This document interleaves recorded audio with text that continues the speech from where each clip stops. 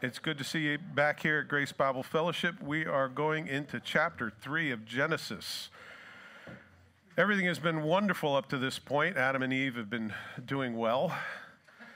Everything was created. God pronounced it very good, and all was well. God produced a woman, and suddenly man continued on with his naming game. And he says, She shall be called woman. And finally, he found one that was like him. And uh, I, I still want to tell a joke. I won't. Let's pray. Father God, we thank you for this opportunity to be here. As we come before your word, I pray that you might help us to view it with your Spirit's enablement, that we might see things that you have for each one of us, things that maybe we've never seen in this very familiar story. I pray, Lord, that help each heart here to be open to your spirit as you speak to them concerning their relationship with you, including myself. That, Lord, we would be pleasing to you in every way, that we would hold nothing back. I pray today we would hear your voice, Lord, speak to our hearts. We give you ourselves, we give you this time. We pray that you use it for your glory and honor. In Jesus' name, amen. Okay. If you remember what we've been going over, we've been going over the six days of creation. The first three were God's forming, the second three were God's filling, and He appointed those who would occupy the space in which He created. So we, we looked at that. Last week we looked at chapter 2. We went over the seventh day and how God rested on the seventh day. We looked at the garden and the condition, this antediluvian weather report of how everything lived, and there was no rain up to this point, but this mist would rise up. We looked at the full story of mankind's creation, so it wasn't just man. Uh, in the mankind sense, we saw man and woman being formed uh, from a side of the man. We looked at all of that last week. Uh, everything is archived on the, the website, so if you want to go over that, I, I'm not going over it in detail. I'm just kind of brushing over it. And of course, the first marriage, the very first institution that God created as He created woman for man. So, we talked about on the seventh day if God was tired, what exactly was He trying to do? Certainly, He left an example for us that we would have one in seven. You will find that your body, your mind, all of your systems have a limitation. Any, any of you, amen? amen? You have a limitation, yeah. There's only so much that you can do. I know that when I spend uh, long days and long nights and I don't get enough sleep, I begin to see things.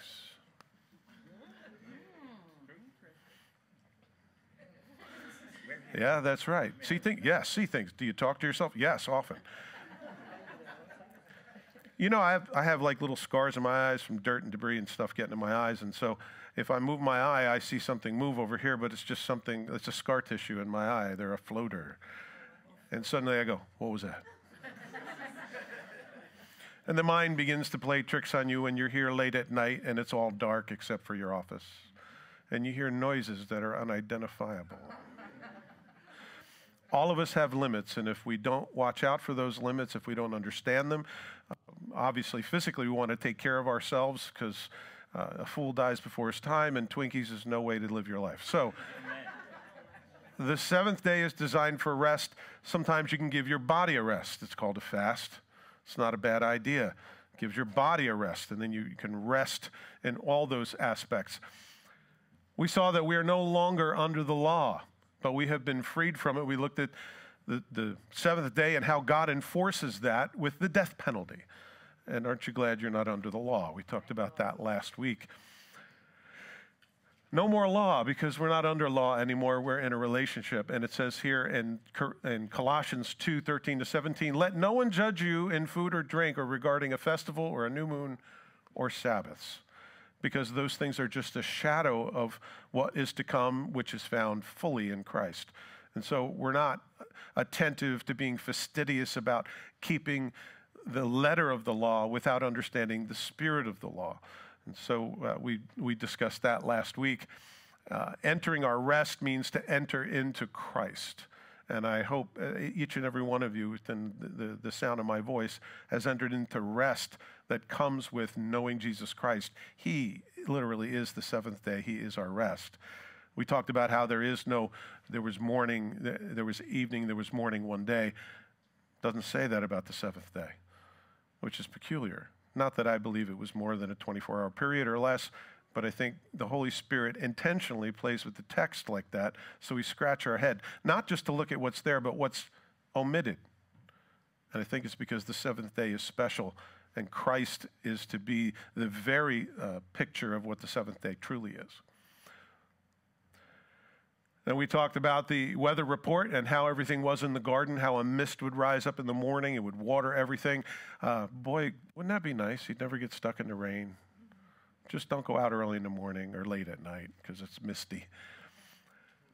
We talked about how God created man from the dust of the ground and he breathed into his nostrils the breath of life, and man became a living being and what that means to have a mind and a body and a soul and a spirit and to be made in the image of God and how he breathed his breath, his ruach, which is the, the word, uh, which is pneuma in the Greek, which means breath or spirit or wind. And we're going to see that here in chapter 3. Everything was good in Eden, and we were introduced to the two trees.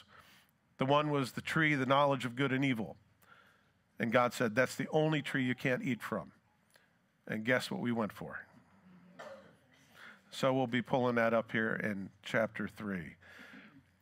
And then the one which is the tree of life, which is rather interesting. And the scripture talks about Jesus dying on a tree. And it's that same tree that gives us life, which is the crucifixion and the cross of Jesus Christ. So we talked about what the tree of life could be. We talked about where it is and where you can look for it, somewhere in that red dot. But it's it's not there anymore because of the flood. We, we talked about the purpose of man being placed in the garden was to work the garden. So work was before the fall. God put us here to take care of things. Makes me, makes me take serious um, what it is I believe God's called each and every one of us to do, which is be a good steward of this place, including the animals, including killing the insects. That's part of subjugating. I take it seriously, especially if you get those big cicada killers. Oh, suddenly sympathy. Okay.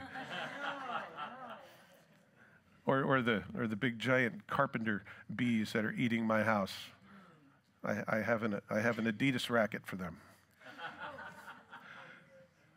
so the Lord said, It's not good that man is alone. I will make a helper suitable for him. And then he brought all the animals to him, which seems like a commercial break from what God's doing. And he brought all the animals, and man named the animals, and which shows that he has authority, which shows that he is given authority by God. And whatever he called the animals, that's what it was. Nobody changed his mind. Nobody said, uh, Adam, no, I don't think that's a good name. I think, you know, armadillo isn't a good idea. Why not? He, he's all armored. Why, why wouldn't that be good? So he names all the animals, and he realizes that he's alone. God showed him he had a need before he provided for a need. Isn't that good? Because if God provided for his need before he knew he had a need, he might try to deny it and say, I don't need nobody, which men have been saying ever since, but anyway. And so he caused him to fall into a deep sleep, and he took a side of Ish, which is the word for man, and he made an Isha, which is woman. And then when he awoke, he said, This is now bone of my bone, flesh of my flesh. She should be called woman. She was taken out of a man and suddenly we have a married couple. God gives away the bride, so to speak. And we see that Jesus gave birth to a bride from his side as well, didn't he? Just as Adam did. The four elements of marriage. Therefore, man shall leave his father and mother, be joined to his wife, and they shall become one flesh. And they were both naked, the man and his wife, and they were not ashamed. First thing is, you get out of your parents' house. You hurt my feelings. Get out. Trust me. It'll be better for you. A husband and wife begin a new paradigm, they begin a new authority structure. All other family takes second chair to the marriage relationship. Amen? Amen? Like it or not, that's the way it is. So get the heck out. Number two, cleave.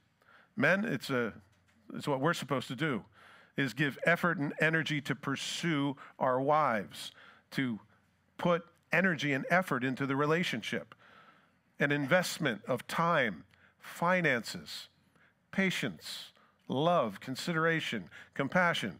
Any of this ringing a bell? That's what we do. We cleave, which means you're not the king of the remote and you sit around and wait to be served. It means you get busy investing. Right, honey? That's right. and they shall become one flesh. This is more than just the physical union of man and woman. This is everything that's mine is yours, everything that's yours is mine. All of your debt is my debt. All of your pay is my pay. and my wife says, Amen. Because my check goes in the bank and she spends it all. It's a good arrangement. It's a very codependent relationship. Oh, so, oh my. I am not serious, okay? I'm playing with you. We share everything because it's a three legged race. So all of my family is your family, sorry. And all of your family is my family. All of your friends are my friends, all my friends are your friends. Your car is not your car, your car is the Lord's car, but we share it. Okay? That's what it is to be one flesh. It means my stuff is your stuff, your stuff is my stuff. There's no yours and mine, there's ours.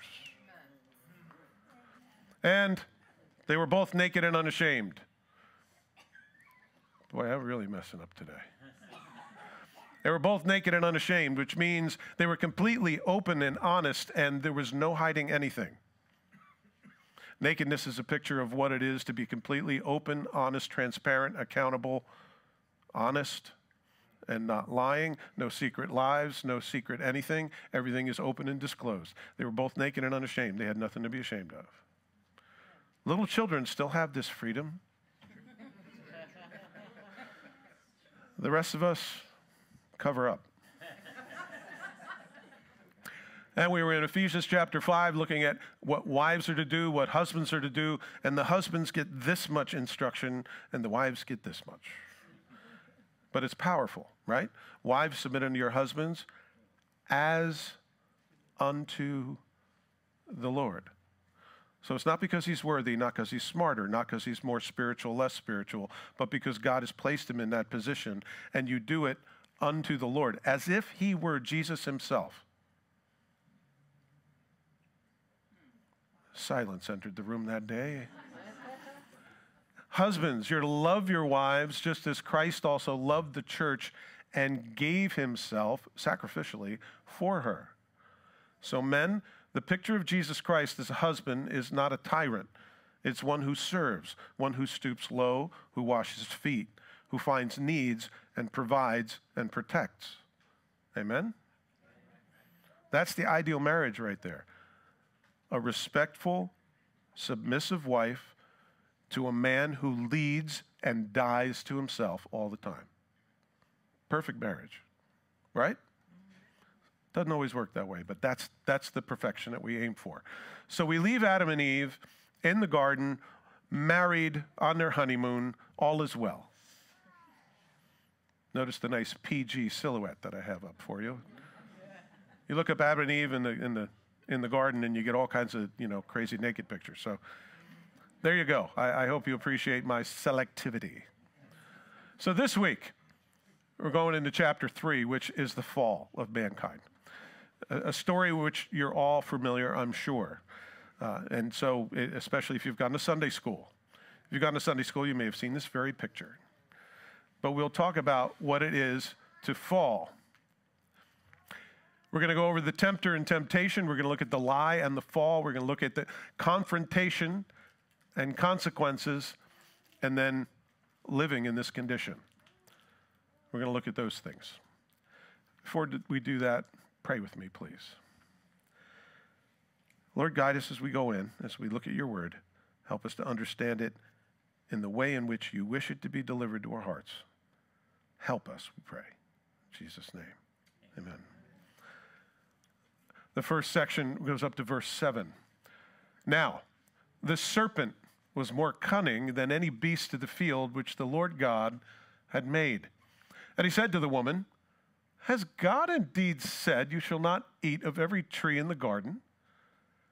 And the woman said to the serpent, We may eat of the fruit of the trees of the garden, but of the fruit of the tree which is in the midst of the garden, God has said, You shall not eat it, nor shall you touch it, lest you die.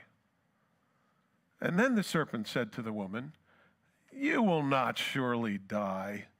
For God knows that in the day you eat of it, your eyes will be opened, and you will be like God, knowing good and evil. So when the woman saw that the tree was good for food, and that it was pleasant to the eyes, and desirable to make one wise, she took of its fruit and ate. She also gave to her husband with her, and he ate. And the eyes of both of them were opened, and they knew that they were naked. And they sewed fig leaves together and made themselves coverings. I'm wondering how many of you have questions about this text? None of you. Wow, that's awesome. Okay, two of you. Good. I thought we could just zip right through and go to verse 8 the serpent, we're introduced to the Nakash. Uh, the shining one is actually what it means. This is the first time that you see this evil character show up in the personage of a snake.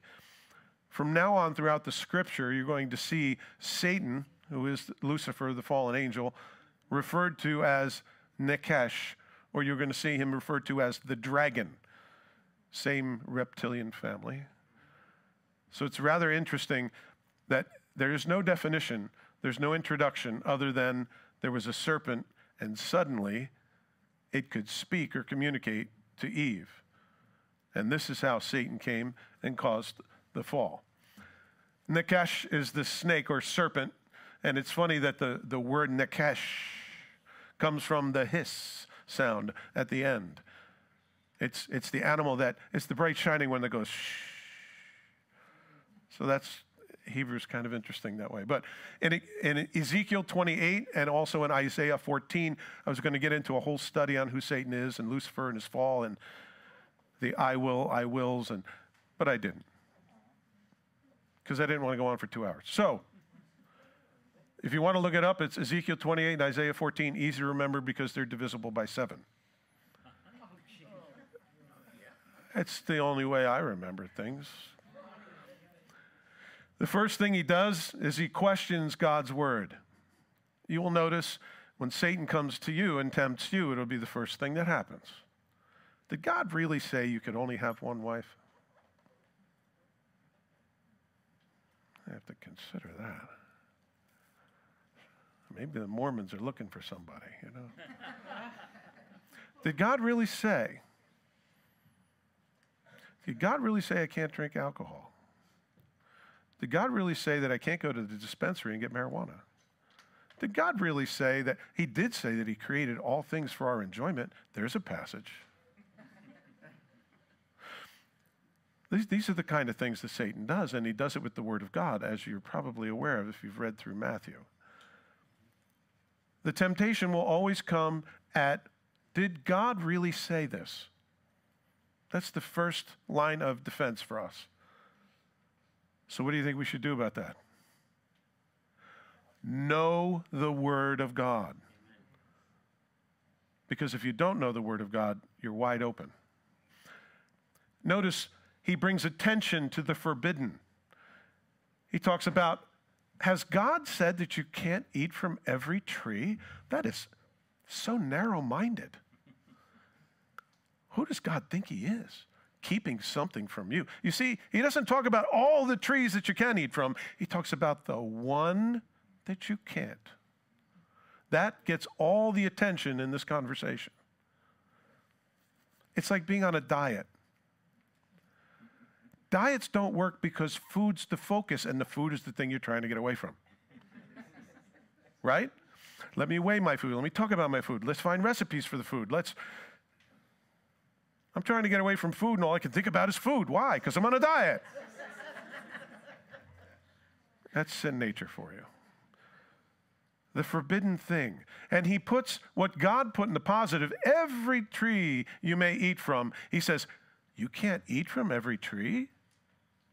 You see how he uses the negative and he uses language? Language is hugely important. Pay attention. God, because of his great love for us, places limits upon us for our good. Considering all he has done for us, how can we doubt that? Considering all that had been done for Adam and Eve and all of the fruit and everything that was in the garden, how could she possibly question God's character that he was keeping something from her? But that's the beginning of temptation, isn't it? Hey, it's a nice new Ferrari. That would be nice. I wonder what that's like. Did God really say I can't have a Ferrari? No, the bank did.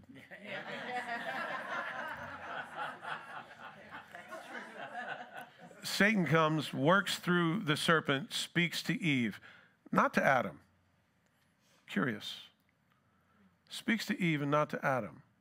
By the way, God gave instructions about these two trees in the middle before she ever existed. He was in charge from the beginning. The devil always tried to find a back door, a second-hand way to be able to sneak around the corner. And the woman said to the serpent, We may eat of the fruit of the trees of the garden, but the fruit of the tree which is in the midst of the garden, God has said, You shall not eat it, nor shall you touch it, lest you die. I'm wondering, how many trees are in the middle of the garden?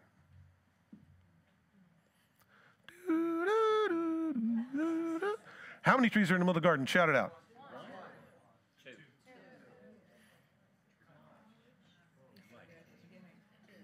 And by the way, those two trees have a name, don't they? Why didn't she know the name?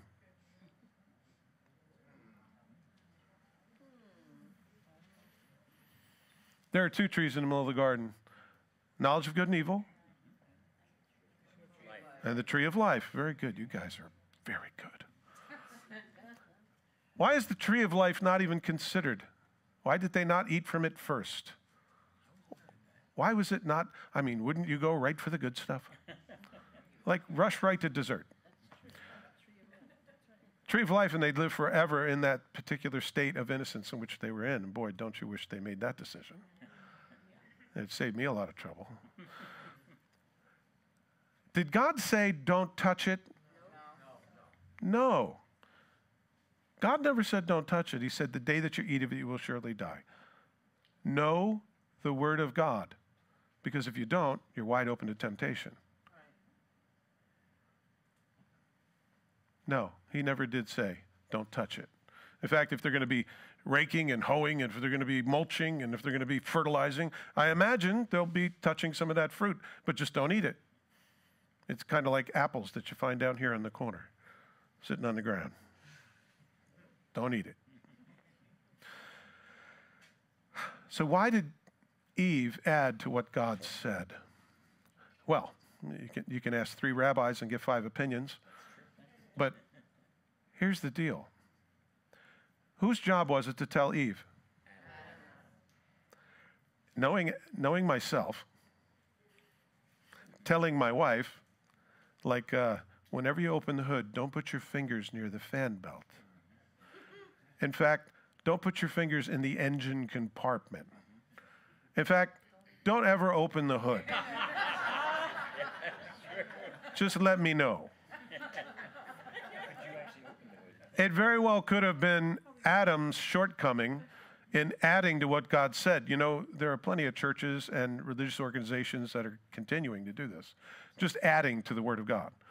In the first century, Jesus was up against the Pharisees who had added so many things to the Word of God. They defined what could and could not be done on the Sabbath. They defined everything. And they percolated it down to the finest degree where no one could measure up. Adding to God's Word. Revelation has something to say about that if you look in the very last paragraph. It's just as well to take away, like not knowing the name of the tree in which she's being tempted to eat. That may have been helpful. Was it Adam's issue? He didn't communicate it? Or she just like tuned out when he started speaking. Oh, he's getting all authoritative on me. Yeah, whatever, blah, blah, blah, tree, okay, whatever. So I don't know, but there was a missing link. There was a missing link somewhere. I, I gave equal in, you know, liability on both sides. I think that's fair because it very well could have been. So Eve added to what God said. Big mistake. Be careful that you don't go away thinking, well, Pastor Dave said something. It must be in the Word of God. you better be like a Berean and check it out because I'm just a human being, if you haven't noticed. When we embellish or disregard what God says, we become vulnerable to temptation. And I don't know about you, but the devil has whispered in my ear many a time, telling me, it's okay. God will forgive you.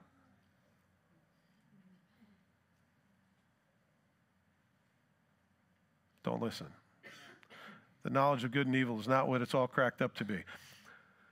The question that he created was designed to produce doubt in the woman, doubt about God's character.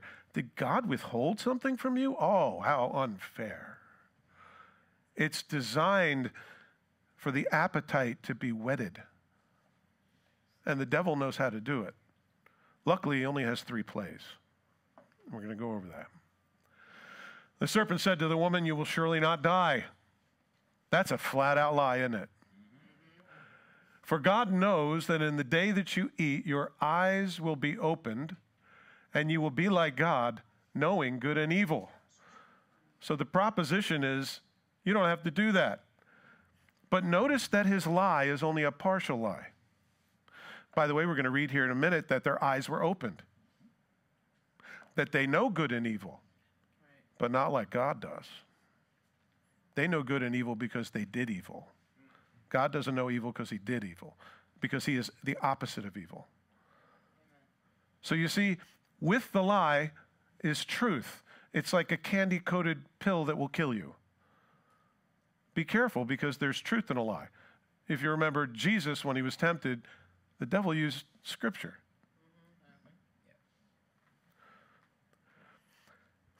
Did Eve die?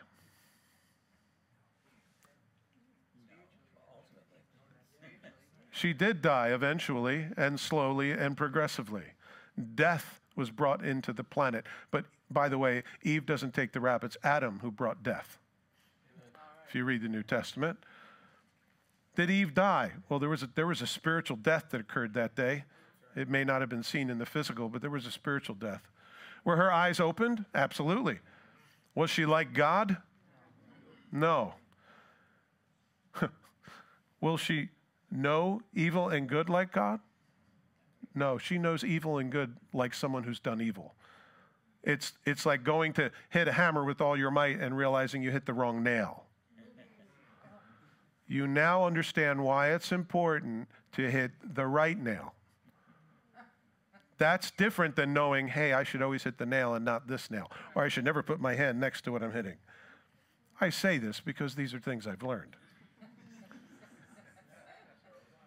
Trying to soften up the bone of my brain.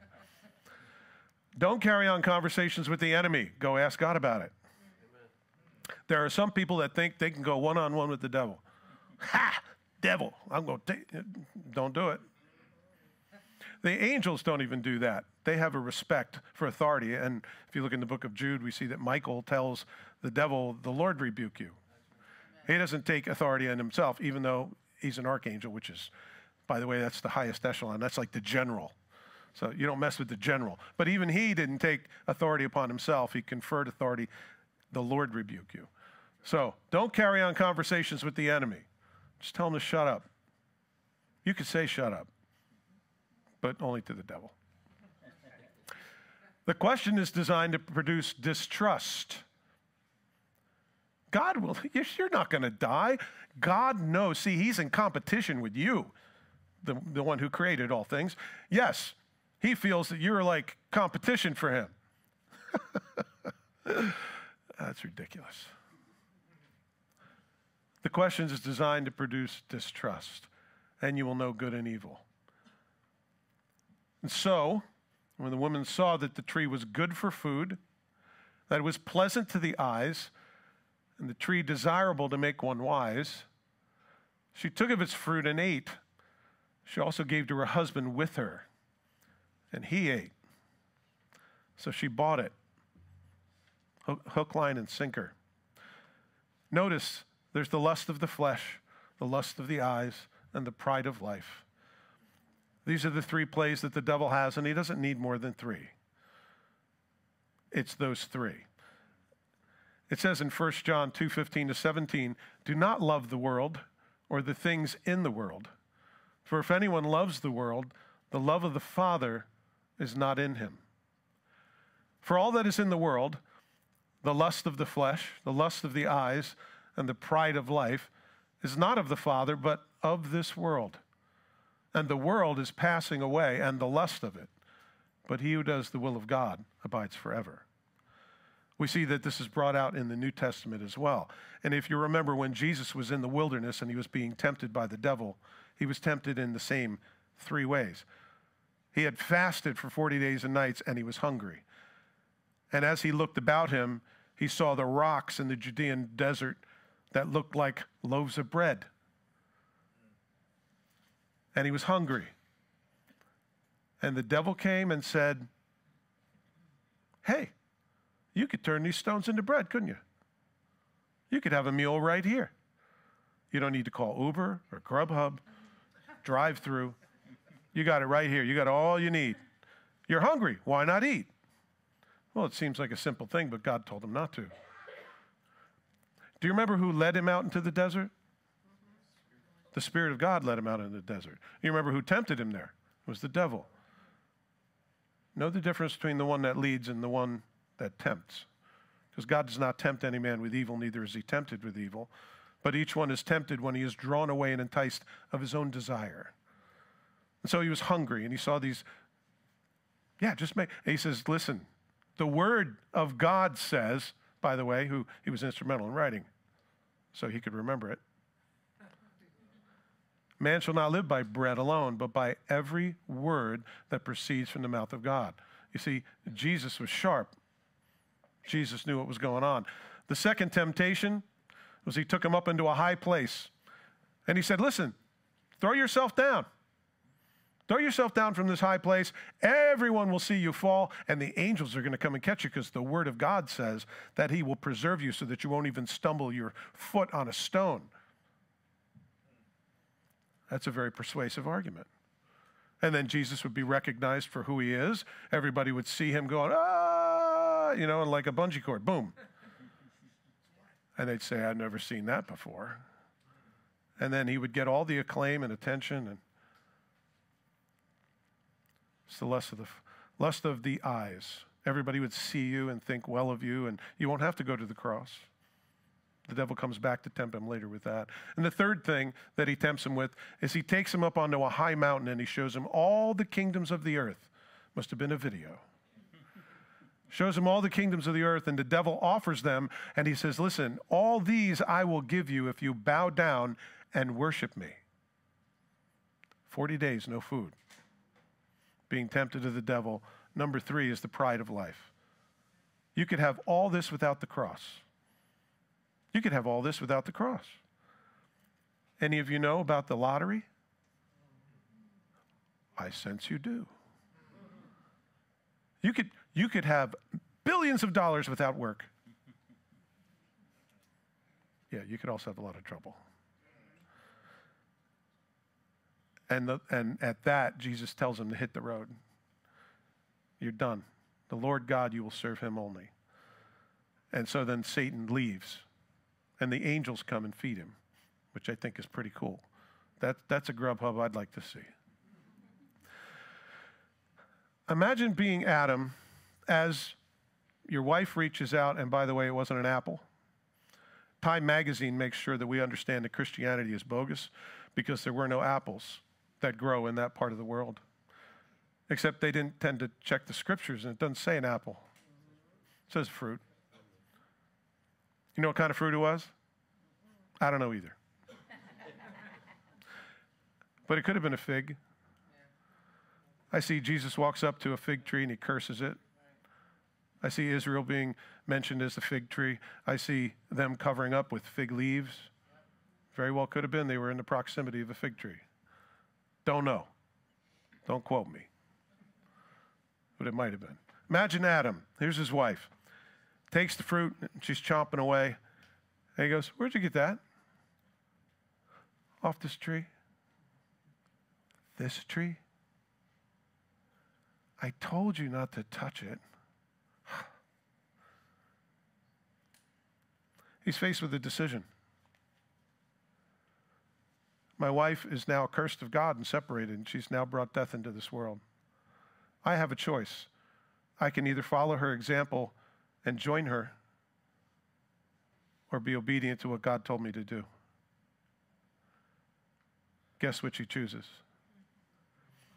He chooses to do what his wife tells him instead of what God told him.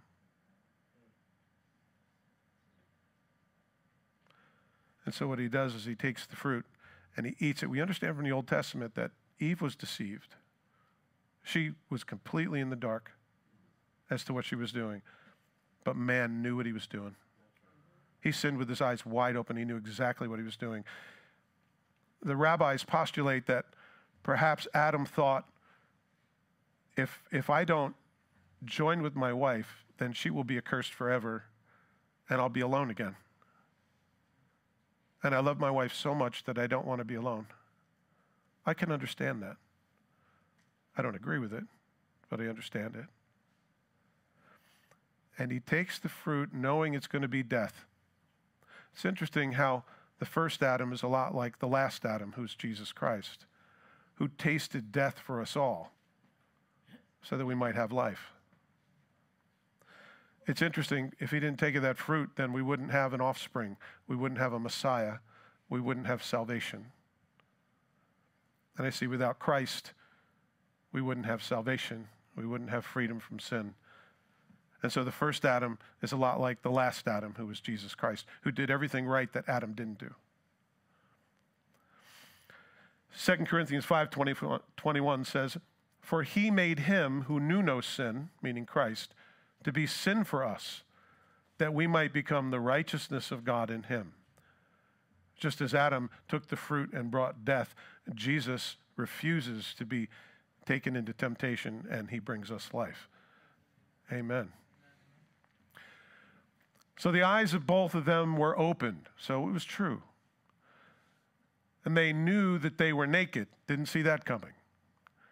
And they sewed fig leaves together and made themselves coverings.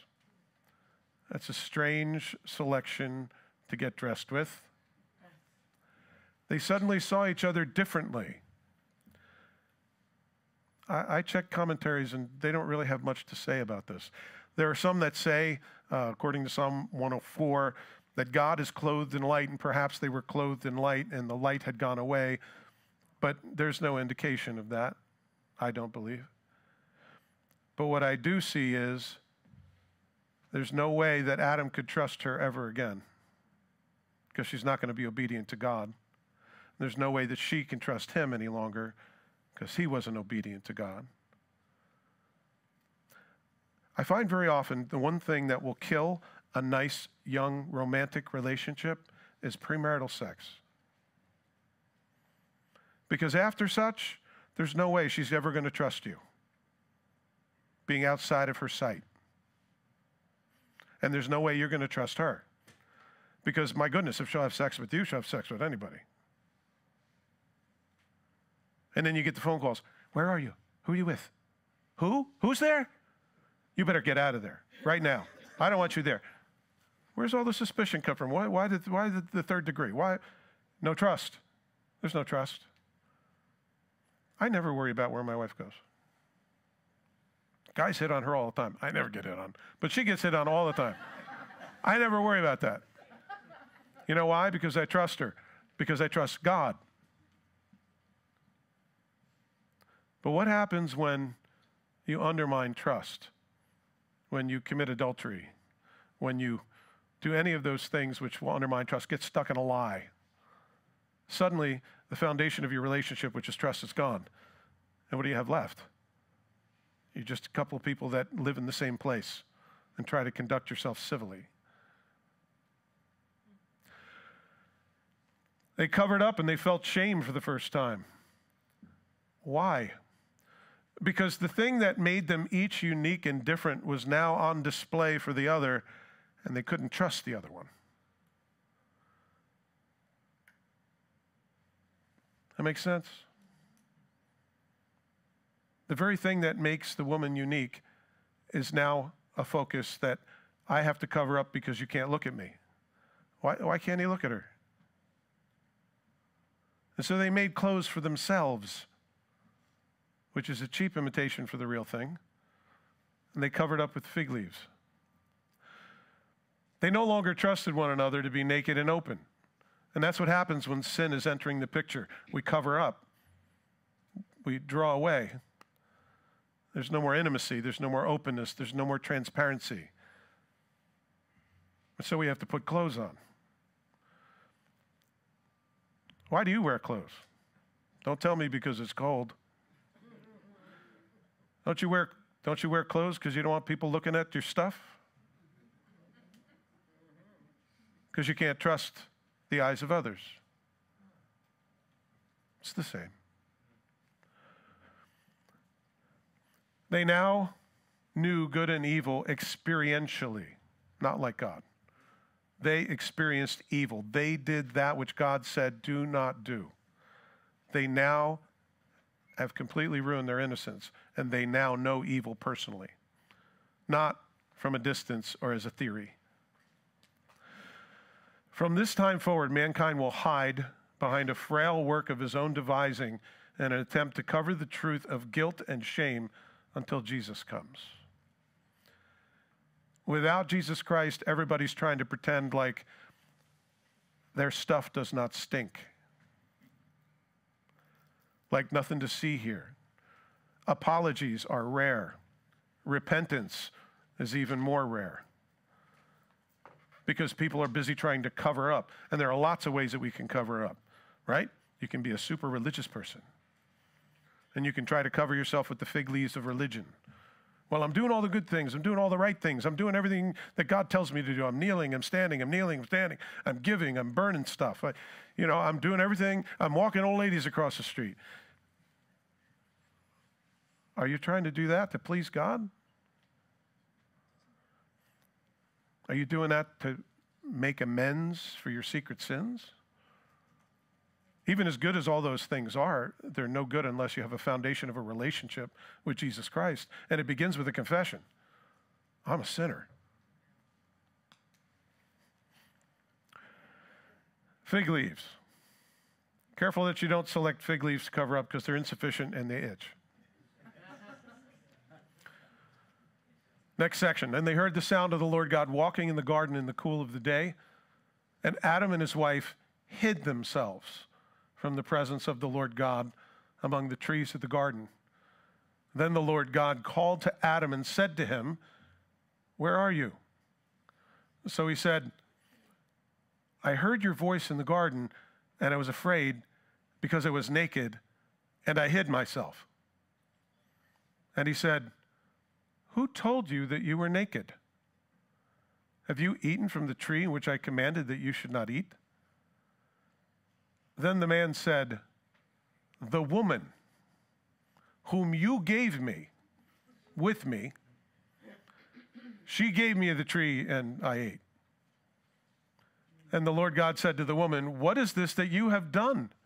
And the woman said, The serpent deceived me and I ate. So this is the big showdown. God shows up on, on the scene, and there's a big hide and seek going on. Adam and his wife hide from the presence of the Lord.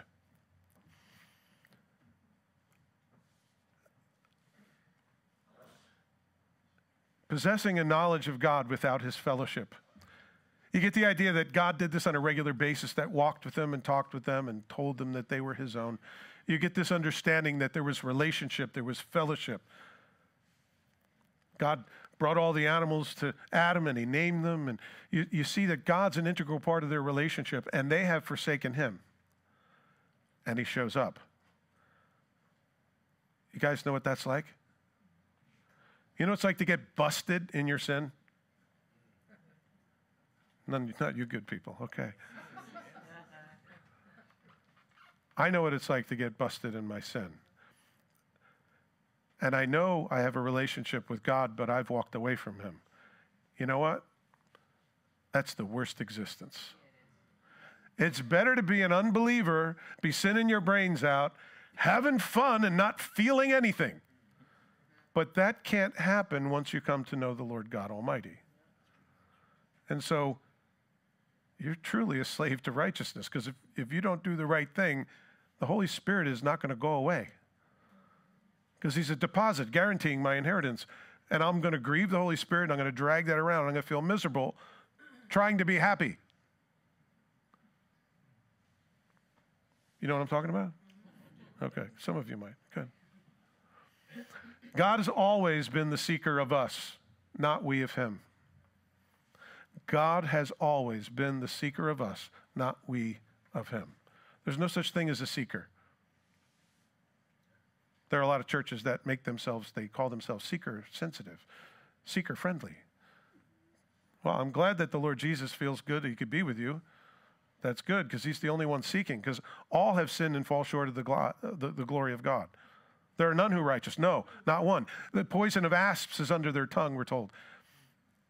Everyone is that way. We're all like sheep that have wandered away, but God has sent us a shepherd and somebody to restore our soul to be fellowship with them. God is the one who seeks us out, just as He found Adam and Eve. And He always will be. And if you know the Lord Jesus Christ, He who began a good work in you will continue it until the day of Christ Jesus when He comes back. So this could go easy or this could go hard may as well make it easy. Hiding among the trees in the garden is futile, right? Do you think God couldn't find them?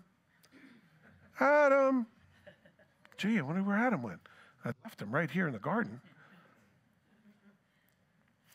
The question is designed to get Adam to think, hey, what are you doing? What's going on here? Have you ever had the Lord speak to you and whisper, Where are you? What are you doing? Who are you? What are you who are you? What are you doing here? I have had that very thing where the Lord said, What are you doing here? Like Elijah in the, in, in the cave. What, what are you doing here? Hiding among the trees is futile. So don't try it at home.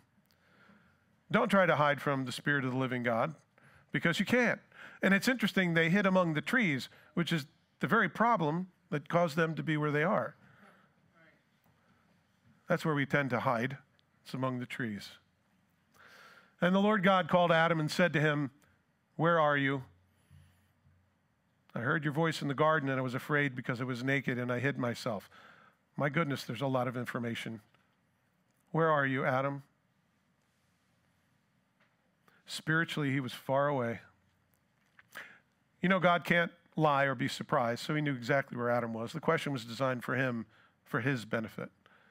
And when God speaks to you, it's for your benefit as well. It's not his, he already has all the information he needs. Shame and guilt make us hide from God and breaks our fellowship with him and from one another. First, it was the fellowship with Eve got broken and they had to cover up. And then when the Lord shows up, they hid from the presence of God. Sin always makes us hide, and it breaks fellowship with others, and it breaks fellowship with God. Hebrews 4:13 says, "And there is no creature hidden from his sight, but all things are naked and open to the eyes of him in whom we must give an account." I think it's interesting they use the word naked. The reason I thought of that passage is because it goes exactly with where they are. God sees us all naked. No matter how you cover up, no matter how you try to hide, God sees you right to your core, and He knows every single thing that's going on. He knows what's going on in your thoughts more than you do, because the heart is desperately wicked above all things. Who can know it? And yet, God knows the deep things of our spirit. So there's no sense in pretending, because God already knows. Interesting question. Who told you you were naked? Who told him? Who told them they were naked? Hey, you're naked. Really? Who told them they were naked? No one. No one told them they were naked. Isn't that interesting? But it suddenly became a problem. Another question.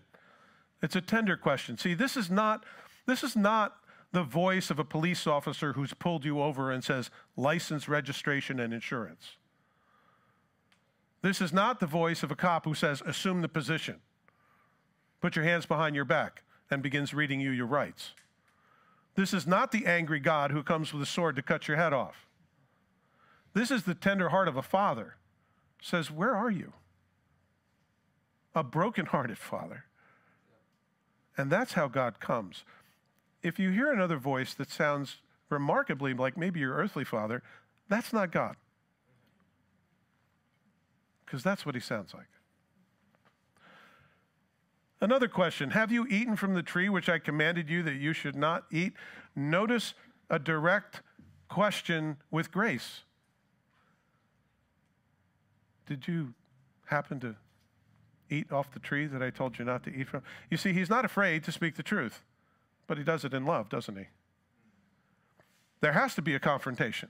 We can't just ignore this. We've got to talk about this. How many of you enjoy confrontation? That's what I thought. But there are things that have to be talked about. They should be done with love, but they need to be talked about, right? Have you eaten from the tree? Of course he did. It's another invitation for him to confess, you see? God is drawing him out. Hey, what's the matter? You're naked? Who told you that? Did you eat from the tree? It's like that's the furthest thing from God's mind. No, he wouldn't do that. Wait a minute. That would explain everything. Did you eat from the tree? Do you see the grace of God? And this is in the third chapter of Genesis in the Old Testament. And the man said, The woman. Did you eat from the tree? The woman whom you gave to be with me. Who's he accusing? He's accusing God. Be careful that you don't accuse God and you're accusing of other people. Then the man said, The woman who you gave to be with me, she gave me the tree. And what was that? Then there, there what was that? And I, and I ate. So that's the last thing on that sentence is you. And the Lord God said to the woman, What is this that you have done? And the woman said, The serpent. She could have said, That you put here, deceived me, and I ate. It's the blame game, right?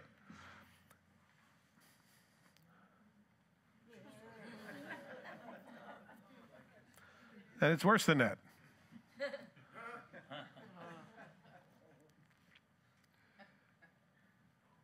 Why do you have such a temper, Pastor Dick? Well, you see, I'm Irish. My father had a bad temper. I inherited it from him. Oh, so you have no freedom of choice, I see. So you take no personal responsibility for your behavior. You blame it on your parents. Well, you see, I grew up poor. Oh, okay. So you take no responsibility for your stealing. You think you have a right to it because you grew up poor and God put you in that place. People do it all the time. They blame God for their misgivings and their bad choices and their sinful nature and their lack of personal responsibility. Blame your parents. It'll be three years worth of therapy, you'll be a lot poorer, and you'll be no better off. Accusations, excuses, or an explanation. An explanation tells how something happened. It's an excuse, it's an accusation, it's not an explanation. An explanation is hey, I'm a bonehead, I was wrong. Please forgive me. I will never do that again. I want you all to say, I was wrong. All of you. I was wrong. Please forgive me. Please forgive me. I won't do that again. That is an apology that begins with confession. Confession isn't the last thing on the list, it's the first thing on the list. And it's not, well, yeah, I did that, but you did this. Yeah, at least I didn't, at least I didn't do what you did. You see, that is not any part of an apology. An apology doesn't accuse someone else. Apology takes responsibility for your own actions and understands that I've burdened somebody else and you need to feel how they feel. And you better apologize. You better ask for forgiveness, or else they'll bring it up from now on, forever and ever. And you can't say, Don't bring that up anymore. Well, you never asked me to forgive you, so I figured I'd just hold on to that. And that's how it works. Because when you ask somebody to forgive you, you're asking them to drop the rock forever in the sea of forgetfulness and remember it no more. Please don't hold this against me. Please let me not hear every argument, this thing come up again. Please. Just say, Can you forgive me? And then you need to offer repentance, which is, I'll never do that again. And I will take steps and I will prove to you I'll never do it again because you know what? I've got accountability. I've got, I, am going to change. I'm not going to do the same things. And I understand the anatomy of how I got to this place. And I'll never do that again. I'm building a fence first thing tomorrow around that tree. In fact, I may even start a fire. Personal responsibility is best and it should never be mentioned last. But we tend to point the blame at other people, don't we? What's wrong with you? What's the matter with you? well, you did something worse. Yeah, yeah, yeah, but we're not talking about that right now. Listen, we have, we, we're, we're little sinners that are all grown up and we know exactly how to do it.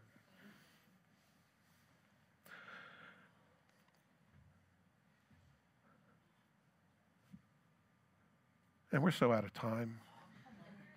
I got through 13 verses. Thank you, Jesus. I had the whole chapter done, but here we are. I know I talk too much. Forgive me.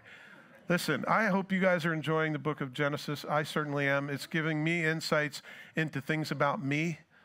I hope it's giving you insights about things inside of you, the way God behaves towards us, his heart towards us his love towards us. And you know, he's not surprised because you can never surprise the Lord. As the worship team comes up, I'd like you to solidify some things that maybe you've heard today that you didn't know, or some things that you believe that the Lord would have you change. Because you have this opportunity, this pregnant moment, where the Lord can use this to really cause us to change. And if you just heard an enjoyable teaching or if you just acquired some information, that's not nearly enough, is it? I would hope that there's real encouragement, that there's real inspiration that takes place, that the Spirit of God would help you to be what God would call you to be today. Amen.